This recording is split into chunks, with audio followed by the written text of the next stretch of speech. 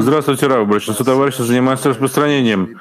Но у нас нет десятки никакого контакта друг с другом в вопросе распространения. Хотел бы знать, есть ли какая-то польза заниматься распространением как десятка? Хороший вопрос. Но я не думаю, что это обязательно. Главное, чтобы каждый дал свою часть для распространения методики распространения в широкий мир как можно больше, через то, что ну, от этого зависит наше исправление.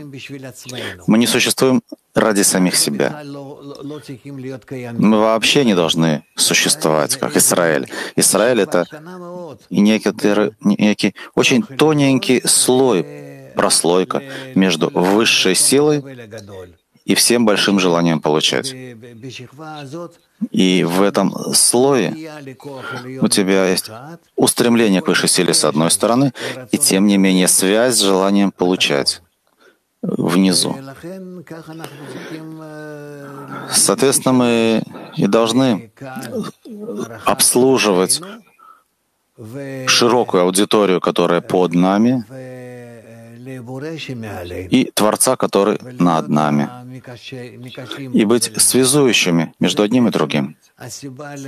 Это, по сути, является причиной ненависти к Израилю со стороны народов мира, поскольку они не выполняют эту связь.